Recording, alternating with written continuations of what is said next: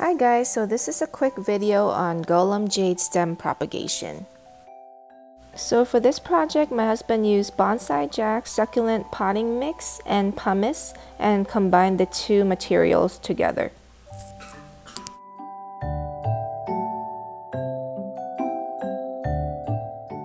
I cut off a stem cutting from one of my Gollum Jade plants and let it dry for a few days and callus over.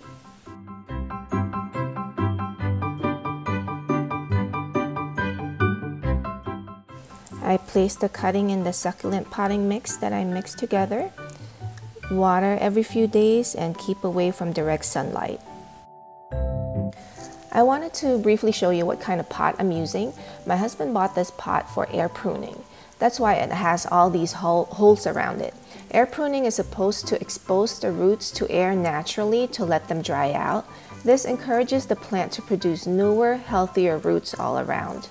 Anyway, he bought a few of these pots in different sizes and has been using them to grow his plants for his bonsai project.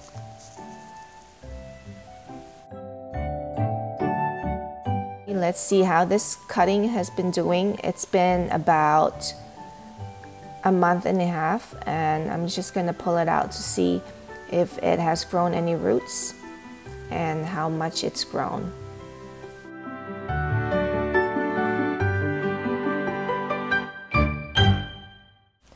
So my husband has been watering the stem cutting two to three times a week because this potting mix we're using dries out really, really fast. It's been indoors by a windowsill, so it's receiving indirect sunlight this whole time. So for air pruning to work, the idea is that you want the roots to reach one of the holes in the pots and dry out naturally so that the plant keeps growing new roots and the old one dries out when it reaches one of these holes.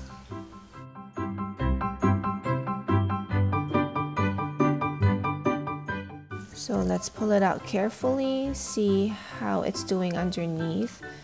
Um, it has just um, a few roots growing, not a lot. Yeah. So it's been about, like I said, about two months, a little less than two months, but it hasn't really grown that much roots. I'm surprised. But yeah, so I mean, so far so good. We'll just put it back and let it do its thing. Um, he's planning to use this as a bonsai project, so this is going to be a long, long haul project.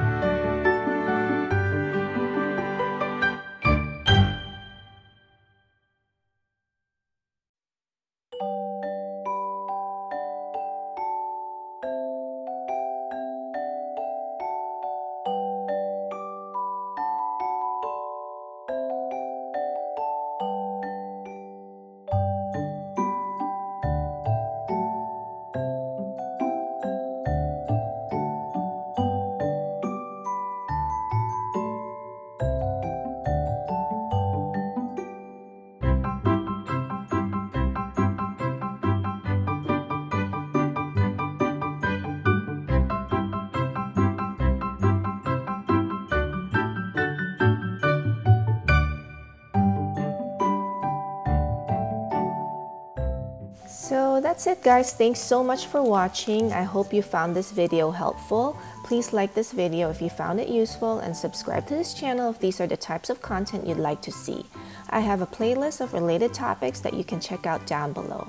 Thanks for stopping by. We really appreciate all your support and happy gardening. Bye!